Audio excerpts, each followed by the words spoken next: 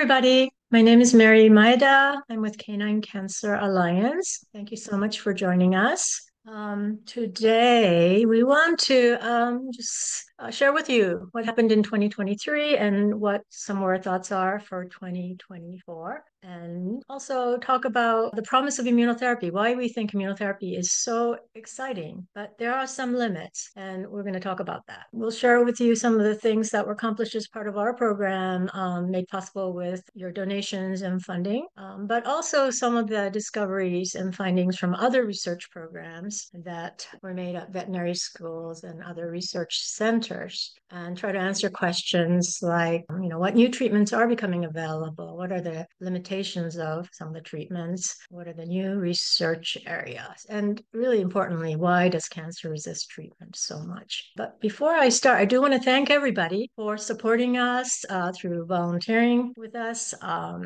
through donations and running fundraisers. Really, uh, we're just so, so grateful. And as you know, the funds that we raise goes to research uh, we are starting to use some, a small percentage of that funding to create also educational material, and we'll share more about that. But um, I do want to um, uh, say thank you to uh, Jordan Katzman, who has been just incredible in uh, helping us on the strategy on a day to day basis, as well as Corwin Mallet, who um, sadly lost his dogs to osteosarcoma, who has generously supported um, EGFR HER2 clinical trial and uh, is, is been wonderful supporter. Again, thank you. And let's just start. So let me just start with what tell you what immunotherapy is. It is different from conventional therapies that tries to directly kill cancer cells. It's using the natural immune system to find and kill cancer cells. And so in this picture, which I hope you can see, it shows the cancer cell on top and on the bottom T cells. Now T cells are one of the workhorses of immune system that's very effective at killing infected cells as well as cancer cells. And uh, T cells can hunt for cancer, recognize it as being bad, and kill it. T cells are not the only immune cells that can kill cancer cells, but uh, it is one of the uh, very important component of the immune system.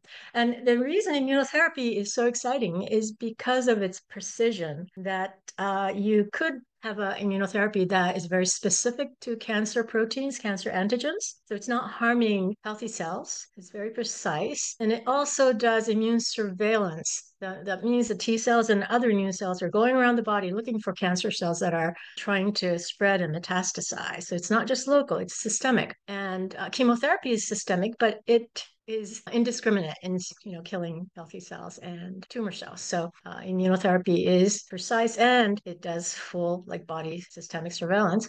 And if designed properly, it there's memory. So immune system remembers that this is what cancer cells like. And if cancer cells go into remission and then they pop up a few months later, it will recognize it and start killing it. You don't have to give it more chemotherapy or do another surgery or get more radiation. Immune system can remember. But of course, things are not perfect. In general, immunotherapy may have associated with it milder side effects and it can limit recurrence and metastasis. So how effective is immunotherapy? And I like to share the Kaplan-Meier survival curve, which plots the number of patients still alive versus time. And very often, the um, for example, for chemotherapy, the number of patients starts out 100% and it starts to go down, down, down, down. And over time, if it's really aggressive kind of cancer, most of the cancer patients have passed on. But with research, you might come up with a new chemotherapy, but very often the Kaplan-Meier survival curve just shifts over a little bit uh, because in general, some patients are living a few months longer, maybe six months longer, but it's a shift. But eventually, if the cancer is aggressive, most of the patients uh, succumb. Now, Compared to that, immunotherapy looks like this. Uh, and this is a little bit simplified, oversimplified and idealized, but unlike chemotherapy curve that just goes down to zero, sometimes you find these long-term survivors and the so the curve flattens out and you call that the survival tail. And that's what makes it so exciting. When immunotherapy became very popular uh, a few years ago with human medicine uh, something called checkpoint inhibitor about i don't know 10 15% of patients with uh, very aggressive melanoma were becoming long-term survivors. So they're seeing this flattening out. They're seeing this tail. And also with canine cancer immunotherapy, we may be seeing these tails. And that's one of the things that we're trying to find out. And so if there is a tail, that means that there are long-term survivors and effectively those patients hopefully are cured. And then the challenge is how do you raise this tail? How do you make the immunotherapy more effective so that more patients can respond to the therapy? In 2023, we were supporting a number of studies. Uh, some were funded uh, in 2022 and uh, got started earlier. But the largest study that we are so supporting is EGFR HER2 vaccine study which was started at Yale University. And Professor Mamula has joined us today. So I hope you'll be able to share with you some findings from that study. We also added a couple of new studies focusing on the gut microbiome and immunotherapy, as well as the impact of short-term fasting to immunotherapy at Oregon State and Ohio State University. And I'll talk a little bit more about that. We have also been supporting uh, and enrolling patients for uh, small pilot trials at Missouri State University and the University of Illinois, looking at different kinds of immunotherapy, IL 12 immunotherapy, and CAR T therapy. And also another pilot trial with immunocidin, which is a non-specific immune stimulator. It's not specific to cancer antigen like EGFR, or HER2, or certain protein, but it generally boosts the immune system in a way that may be beneficial. So these are the projects that we were able to support with your, with your support. And Mark, since you're here, uh, I would love for you to um, share what you have. I, I was just going to say that you are enrolling, your studies enrolling patients with osteo, hemangio, and transitional cell carcinoma. Now at 11 clinics. I just heard that one clinic is only going to focus on osteosarcoma, I think, in Northern Virginia. I will update that. And um, Therajan is the uh, company that uh, Mark and his team has started to commercialize this vaccine treatment. And it's so important to have a company that can take it through regulatory process so it actually becomes available to veterinary uh, practitioners because very often there might be really promising research and clinical study, but then you don't hear anything. It never becomes commercialized, and then it's not available to anyone. So hopefully we'll see more of these promising research results turn into real commercial products. And, and Mark, I was also going to mention that your published survival survival 12 month survival with about 43 patient was like 65% versus more like 35 to 40% with conventional therapies. That's Mark, correct. Would like to, yeah. Would you like to add anything else to what's happening with your study? Sorry to put you on the spot. Uh, it, Mary, you always put me on the spot, but in a good way. It's fine. Uh, and I'm happy to discuss it. In fact, sometimes I feel like I talk too much and too long about what we do. But let me say at the outset that uh, it really was it, it, would not have happened without support from uh, the Canine Cancer Alliance, yourself, and and uh, Corwin Mallet, who is uh, on, I believe, on this group as well. It's there are a lot of competing strategies to tackle this very difficult problem, cancer in dogs. And uh, it's difficult, it's time consuming, and it's expensive. So it's it makes it challenging to rise to to get the work done, to rise above the others that you're competing with. And you and Corwin were, uh, I was lucky enough that you uh, believed in us. And in fact, it did lead to uh, uh, the new company being formed. We're not making any product or profit or charging for it yet. Yes, we are in clinical trials at 11 places. As you mentioned, those places, those sites are listed on your website as well as therajan.com. We continue to acquire data for USDA licensing, which we hope is impending. And the data look very, so far, look very similar to what we did in an open label trial of this therapy, this immunotherapy. We're doing it in a more systematic way at the moment and in a more restricted group of patients, as you already mentioned, osteosarcoma, hemangiosarcoma, and transitional cell carcinoma. And uh, we continue to acquire data. The program has been honestly much more popular and accepted than I anticipated. All of the clinics are pretty well subscribed with patients. I'll apologize up front if you can't readily get an appointment with these clinics. They've some of them have been overwhelmed in part due to uh, oh people finding us on the Canine Cancer Alliance site as well as other social media sites. Uh, I can talk about the details of the study. It's going very well. We're collecting data in a central database here at Yale that allows us to really dive deep into details of patients that are doing well, and uh, and even we learn from those that don't do well. And the parameters can be many. You know, we have things like very detailed clinical data from every dog, uh, including the usual things like age, gender, breed, location of tumor, size of tumor, imaging studies that are ongoing in all of these patients. So it's a lot to digest literally, but all of it hopefully will lead to uh, something that we hope we have wider distribution to uh, anyone who is interested and available to, to use it.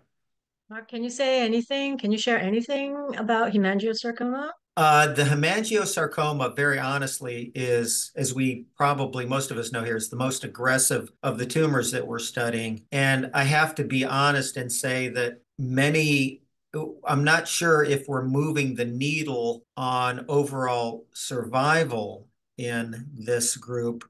But again, it we're still analyzing that. Uh, hemangiosarcoma is the most aggressive tumor. My own dog passed away from this uh, very rapidly about 10 years ago. So I know very well about how this tumor can progress. However, we do have long term survivors um, in this hemangiosarcoma group. Uh, and I know that long term survivors uh, with standard of care are very rare. Do we have more than standard of care? without without having the numbers in front of me, I, I think so, but I'm cautiously optimistic. It's a bit like, I mean, you were describing immunotherapies in melanoma, for example, Mary. And yes, there are a growing number of long term survivors with melanoma, but unfortunately, the sad reality is that while it's it has changed the landscape of cancer care in humans, it does it it's far from improving the survival of too many patients a large still the majority of patients with melanoma and other very aggressive cancers still don't do well uh, with immunotherapy. There is a proportion or a fraction of patients that do have done much better or even very well and that's sort of where we are with um, hemangiosarcoma is that we believe a fraction of patients, and we're trying to identify what are the features of those patients that do well versus those that don't do well. Is it the features of the tumor, which is probably true? Is it features of the dog, age, gender, the size when size of the tumor when they come into the clinic? A number of factors. I probably didn't answer your question perfectly and avoided it actually, but I think it's it's the truth so far. Thank you. Thank you, Mark. It's uh and please jump in anytime, Mark. Um, I am not an immunologist. I'm uh, I'm not a vet. I'm a physicist.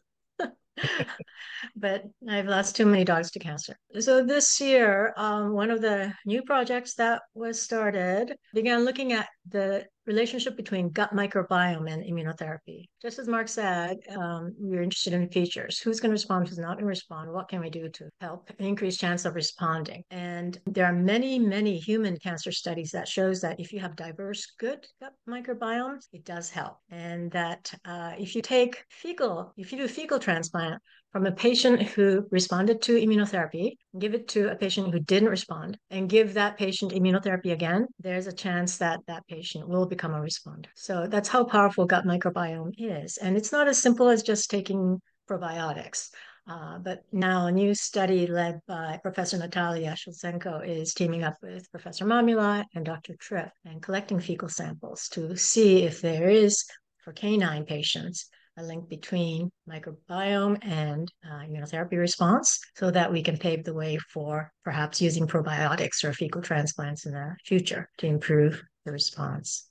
Another pilot study that was started last year is looking at fasting, short term fasting And uh, it's been known with human patients as well as canine patients that if you do 24 hour, 48 hour fasting before chemotherapy, it dramatically reduces side effects. And uh, so the question is, what about immune response? If you do short term fasting, does that induce anti tumor immune response in a tumor? And so this study is led by Professor Shay Bracha at Ohio State University, and he's looking at uh, osteosarcoma and melanoma patients. And these dogs will undergo 48 hour fasting before surgery, and they're going to be looking at the tumors to see what changes they can see as a result of fasting because we really would like to improve immunotherapy, improve treatments, but we need it to be affordable, accessible. And dietary intervention is probably one of the hopefully easiest things that we might be able to try because you don't need new drugs. It's something that's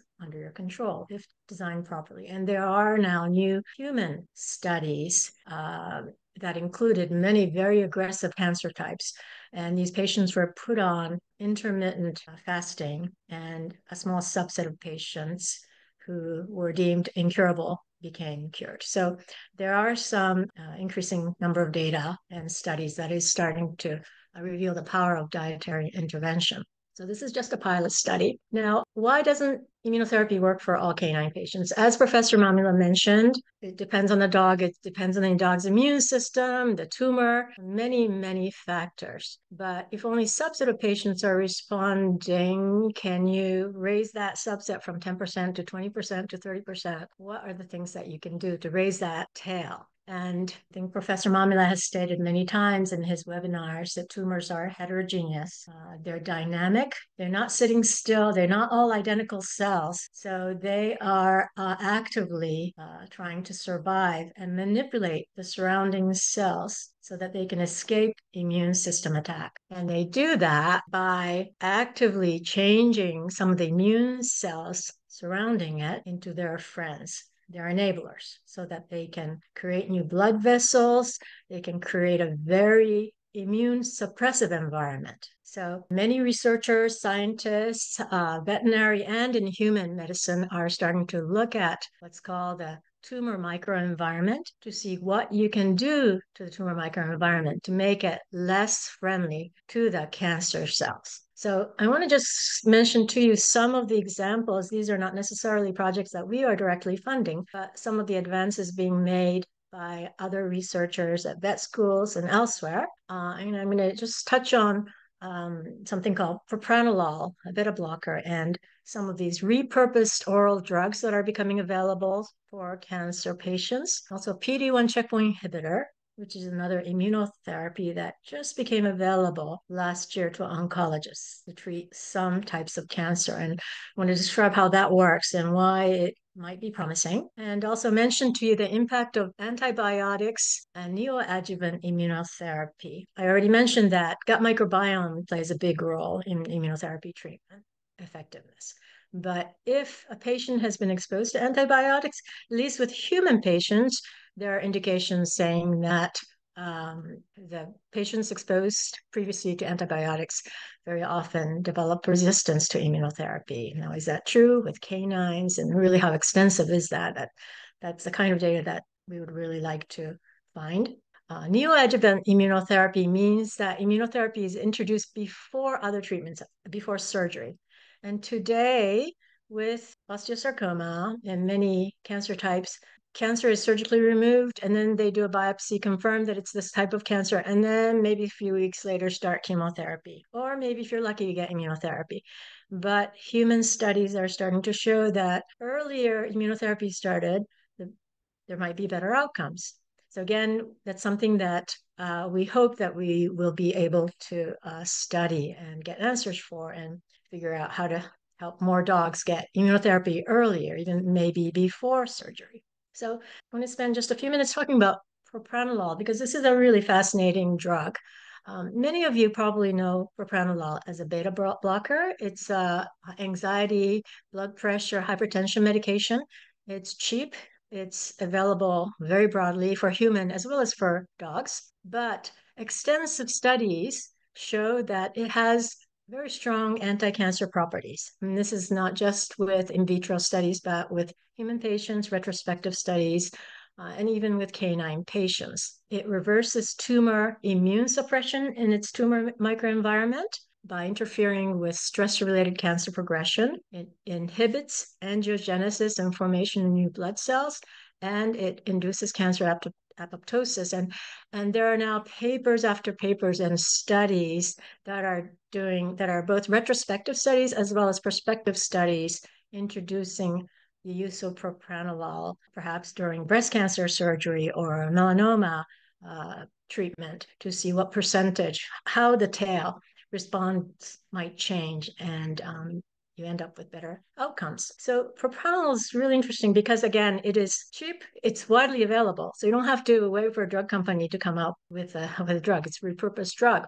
And this is a picture that I found in New England Journal of Medicine. Um, and this is total serendipity. This is a baby with hemangioma, which is a benign uh, form of uh, blood vessel cancer. And it's a little bit similar to hemangiosarcoma, exact, not exactly the same, but similar. But um, there were studies showing that uh, this baby with hemangioma, uh, it's not life threatening, so usually it's it's not bad. But some babies had hemangioma that was bad enough that it was really interfering with if um, quality of life. But this baby happened to be on hypertension drug, propranolol. And lo and behold, the with propranolol, when propranolol was added to the treatment, hemangioma uh, disappeared. And this triggered quite a bit of interest in using it for malignant form of hemangioma, which is called angiosarcoma in human medicine. And um, there are very few angiosarcoma patients. Um, and so it's very hard, apparently, to run clinical studies with angiosarcoma. But there have been case reports of uh, some patients responding very well because there are no very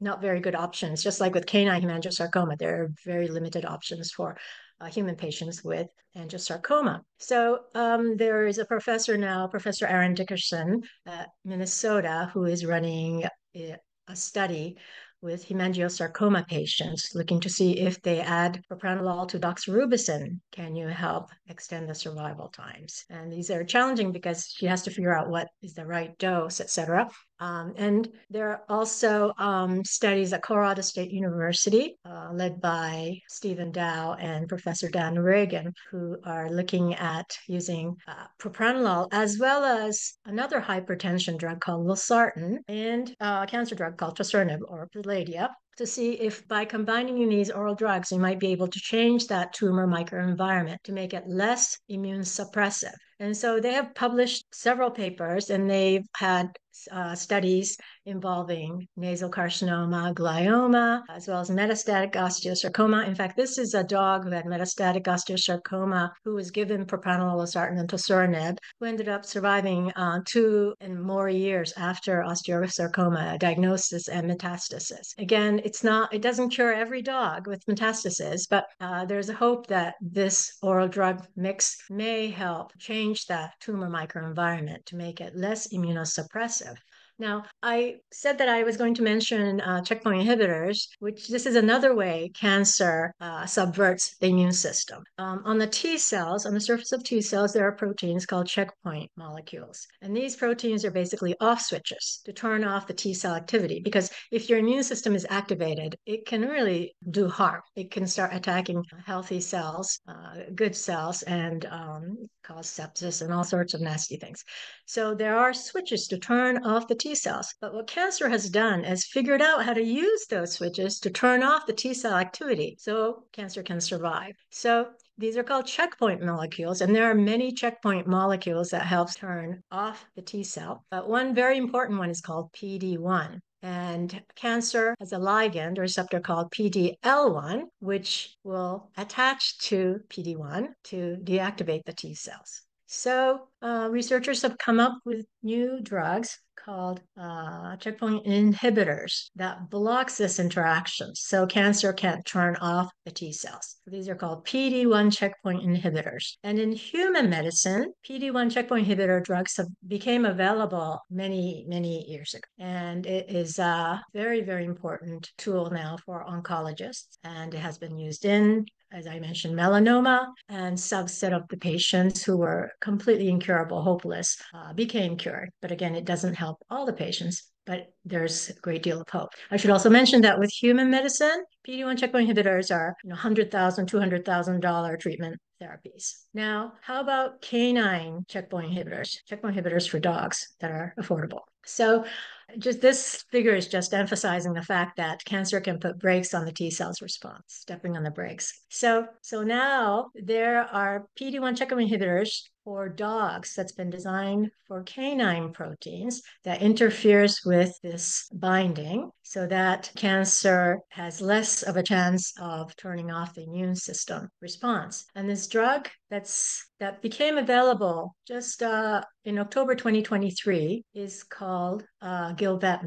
Um, it was uh, developed at Merck, and uh, Merck um, has a, of course, a human side, which has a human checkpoint inhibitors that is a very big business. Now they've created a canine version called Gilvetmab, and uh, it interferes with canine PD-L1 and PD-1. And they have carried out studies with mast cell tumors and melanoma, and it is available to be ordered by veterinary oncologists today. So there are many, many, many questions about this Gilvetmab and how well it might work to help canine patients. Could it help other types of cancer, not just mast cell tumors and melanoma, but uh, other aggressive tumors. And what's known with human studies is that PD-1 checkpoint inhibitors work better if there is high tumor mutational burden. There's lots of mutations associated with the cancer. Tumors with high TMB are hemangiosarcoma, osteosarcoma, and oral melanoma. So they, they might they might help. Uh, we don't know because there hasn't been studies with hemangiosarcoma or osteosarcoma with this Gilvetmab. Uh, how well will it work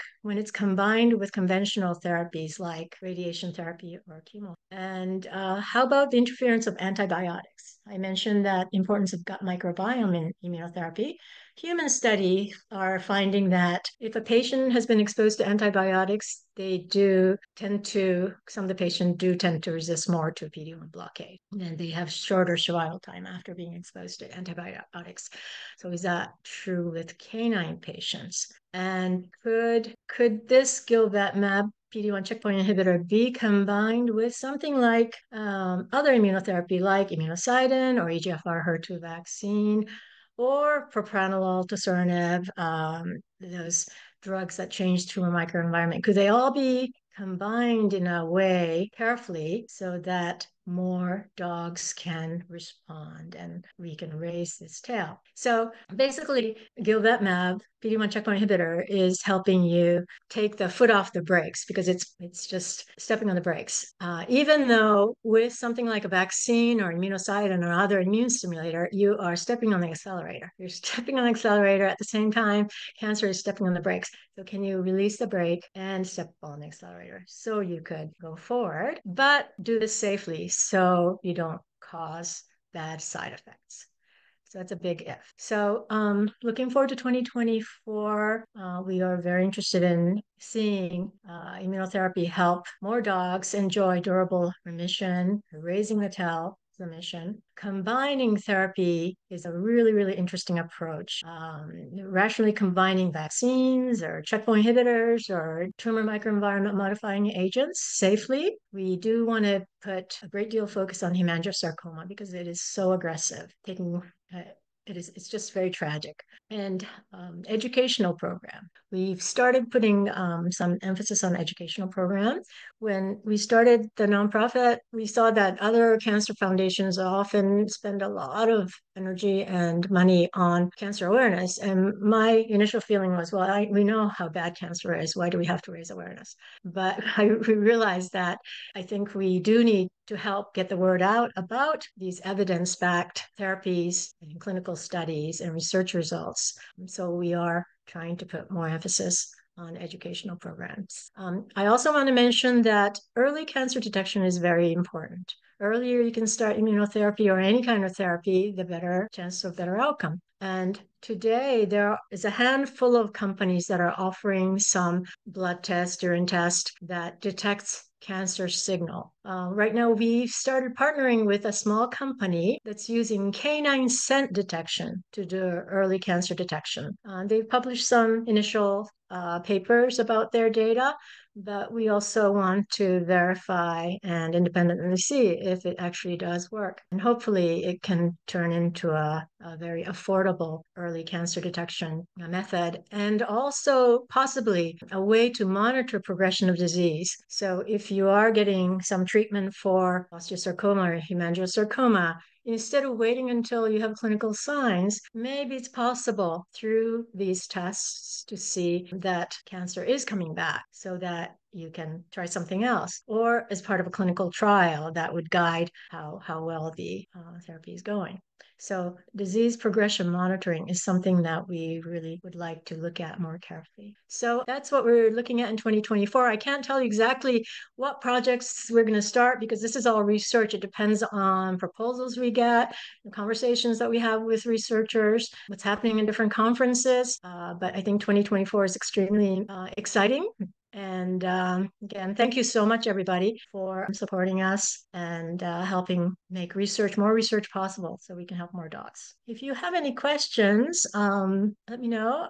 Mark, do you have any other final thoughts, comments? Well, uh, first of all, uh, that was a terrific presentation, very eloquent and perfectly done. Beautiful illustrations and very thoughtful presentation. Thank you, Mary. Um, just to emphasize, you know, there are, unfortunately there are a few barriers uh, that exist between treating human cancers versus cancers in our pets, and that's dogs or cats, I suppose. In part, it has to do with the economics of human healthcare and, and canine healthcare. And the obvious differences are that of things like accessibility and cost. So, you know, it's great to all, many, not all, but many of the therapies that have been applied to treating dog cancers uh, originated, at least in part, from how uh, success the, the success of therapies in treating human cancers.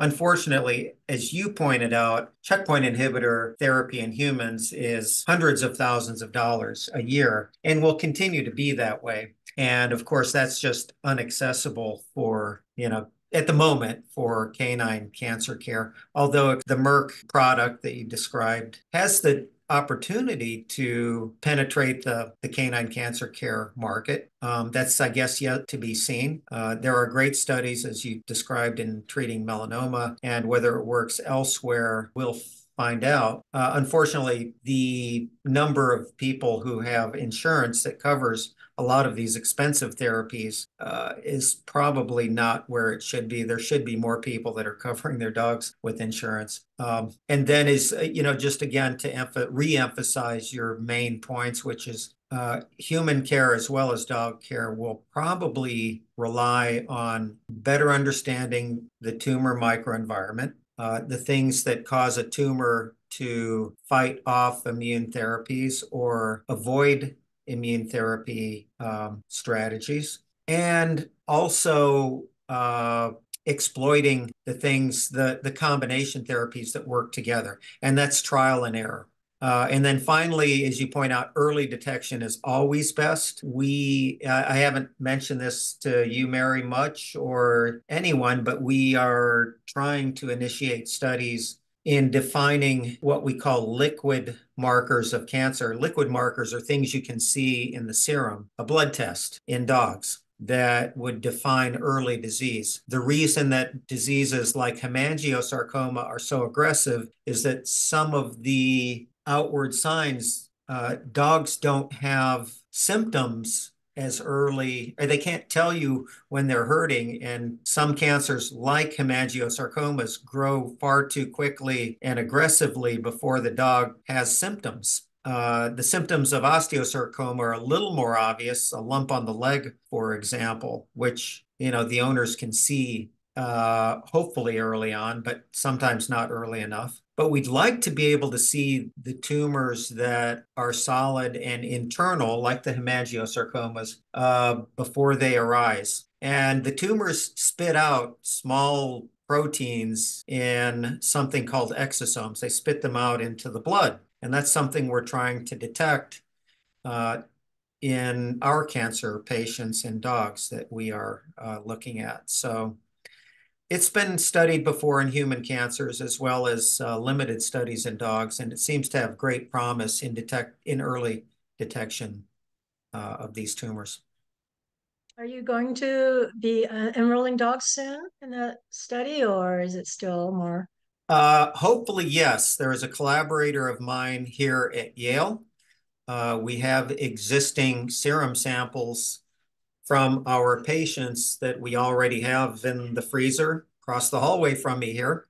And uh, potentially we are going to do some pilot studies in the next couple months that uh, would provide some data that indicate, uh, you know, yes, there are things in the blood that we can detect that reflect uh, a certain kind of cancer, osteosarcoma or hemangio. That would be great. I think I've spoken to a couple of uh, dog parents who said that based on some x-ray images that they had from like a year before uh, swelling started or limping started, they actually saw something in the x-ray in that location. So it sounds like even him osteosarcoma, it, it does start early and then it, there's no clinical signs for like six months or maybe even a year. And then it pops up and then by then it's it's already metastasizing. So yeah, if there's a blood test, that would be fantastic. Affordable blood test.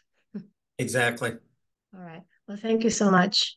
There are some questions on the uh, on the chat page that you oh, okay want to address. Yep. Let me see. Um.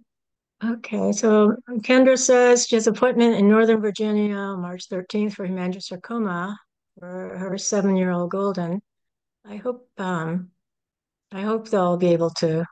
Um, Mark, do you know exactly like is there a, a drop dead? Is there a date when um, Manassas vet is going to switch over?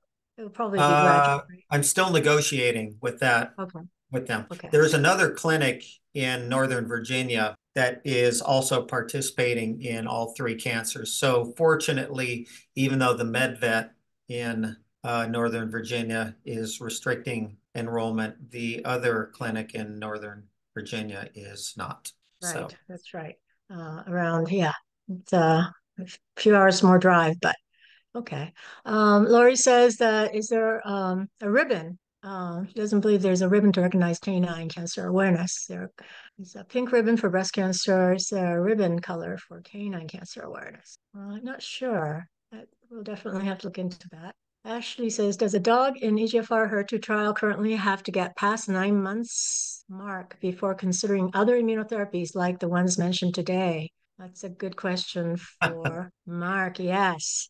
Um, well, uh, that's a difficult question. Um, we are trying to get one year data on the clinical trial of our study. So, but the the difficulty in answering this questions is a feeling that I've had myself in my own dog that had cancer is that there's a tendency to want to throw everything possible at your dog uh, in treating these diseases. Uh, that's not always the best way. Uh, I'll have to defer to your to the veterinary oncologists that are treating uh, the dogs in our trial to answer those questions. Uh, I feel like it would be a biased answer if I uh, spoke up about my own opinion of that. You know, I want what's best for your dogs, as do the vet oncologists that are treating them. Um, we need, however, the best data that we can uh, with just our therapy combined with uh, sometimes with chemotherapy. Yes, yes, we we definitely we want to throw everything. We want to do everything possible for a dog, which is different from the scientific objective of having getting trying to get clean. Well, this this also differs in how humans are treated with cancer, right? You can't walk into your human doctor and say, uh, "I'd I'd like to try, you know, this," and so that's a bit of the difference between you know how we treat our dogs and versus uh, human treatment. Uh, let's see. There's another question about appointments at 11 uh, at 11 locations. There's a long wait at some of them. Can we get the vaccine uh, to the local vet clinic? Unfortunately, not. We're restricted by the USDA for certain clinics. Hopefully, once we get conditional licensing, which we're hoping will happen in the coming months, it's a long process with the USDA. Uh, then we would be available to local clinics. Uh, how do we volunteer for mm-hmm. Arcane? This is Lori again. Uh, how do you be a part of the study? Uh, dog has MCTs. I'd be very interested in participating. Call the clinics directly. Uh, I don't pre-qualify or enroll patients myself. Uh, I rely, you know, it again, it's, I don't want to insert any bias into this clinical trial. Uh, you get the best care from the vet oncologists at all of the clinics that are enrolling our patients. Uh, well, mast cell tumors, Gilvetmab has been uh, in study with mast cell tumors. So uh, if you can't get the EGFR HER2 vaccine, you may want to ask your oncologist about appropriateness of using Gilvetmab. Some some researchers, uh, or based on human studies, the checkpoint inhibitors do have limited efficacy. So the future of checkpoint inhibitors is probably combination. So combining it with other immunotherapy, but um, um, definitely maybe talk to your oncologist about that. Is there a better prognosis with chemo and the vaccine? Oh, I skipped Amy's too. Mark, do you can you say something about prognosis with chemo and the vaccine? Yes, uh, I guess the question seems to ask if uh, our the Therajan therapy, um, is, it's con it what contraindications uh, for other chemotherapies for most of the cancers that are being studied, uh, carboplatin and doxorubicin is typically the most prescribed uh, chemotherapy. Uh, we find that the immune response to our therapy is not affected by those chemotherapy, those two chemotherapies. Um, they carboplatin and doxorubicin do affect bone marrow. However, the cells that make immune responses to our therapy are not largely affected. We find that there's a good good immune response even when vaccine is given at the same time. Is that based on the antibody production or based on survival data? On antibody production. So uh, is, is, there some chance that it might do some immunosuppressive thing with T cells, which you're not measuring? Uh, we have not adequately examined that question yet. Uh, we believe that the therapy, uh, well, this the therapy that we've developed is based on antibody-based therapies in humans, uh, less so based on T cell therapies. Um, there are some nuances to that in that how we formulate our therapy, it activates T cell responses to the tumor as well. But we largely rely on antibody responses to reflect how the vaccine is working. Um, and uh, we don't we don't see altered immune responses. So we and I we do have anecdotal evidence that we have not yet published that probably, as you point out, Mary, early uh, Therajan therapy, the or what's been termed the Yale vaccine, not by me but by others. Yale doesn't like me calling it the Yale vaccine. It's uh, infringing on their uh, uh, their domain. But um, the sooner the better, which is true in human therapies, right? The sooner you identify and diagnose and the sooner you get therapy employed, always better. Yeah. Um, there's a question. What are your thoughts on liquid biopsies like Nu.Q or Onco K9? So PetDx uh, has um, a test.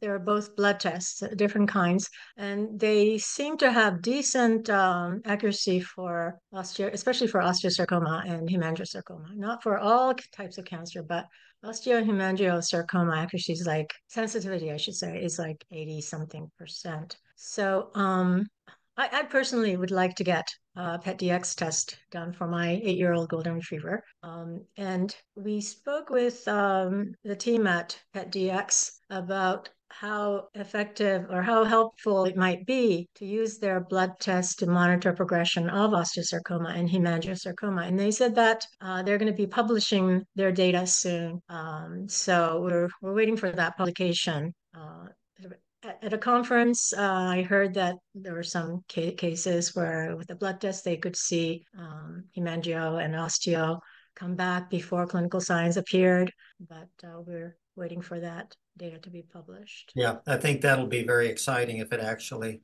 uh, is. Again, that's a liquid uh, marker of cancer progression, which we all want to see, of course, or want to know. Right. And see, Ashley says, thank you. We submitted our six month x rays to MedVet a few weeks ago. She's doing great with no recurrence or metastasis. Just wanted to be, well, that's terrific.